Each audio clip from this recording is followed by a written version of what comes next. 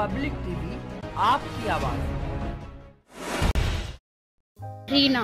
अच्छा बताइए आप वोट डाले पहली बार वोट डाला अभी हाँ। कैसा फील कर रहे हैं? बहुत अच्छा लग रहा है और सभी को डालना चाहिए वोट। तो कोई मैसेज देंगे आप युवा हैं जो पहली बार वोट डाल रहे होंगे?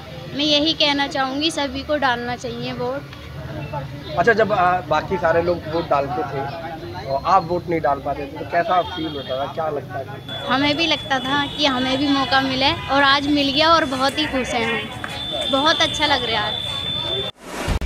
पब्लिक टीवी आपकी आवाज़।